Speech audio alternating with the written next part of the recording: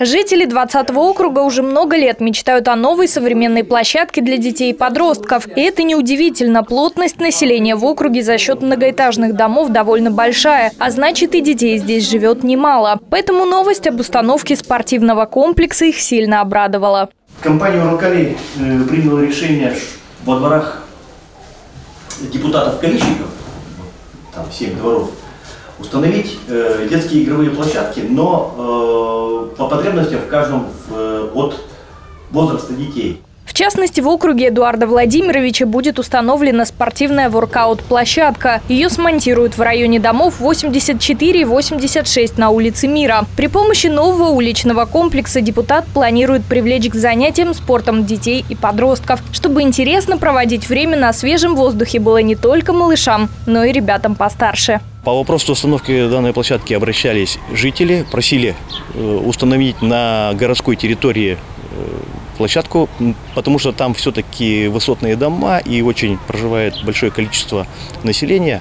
И эта площадка прямо вписывается э, в интерьер, ну и окружающие дома. Здесь подростки могут спокойно заниматься.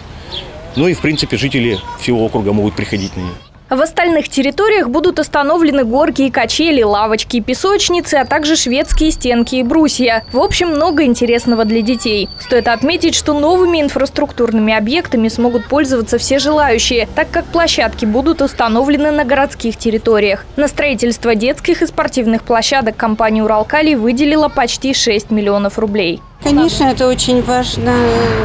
Площадка у нас около дома нет площадки. Поэтому, мне кажется, это будет очень хорошо даже.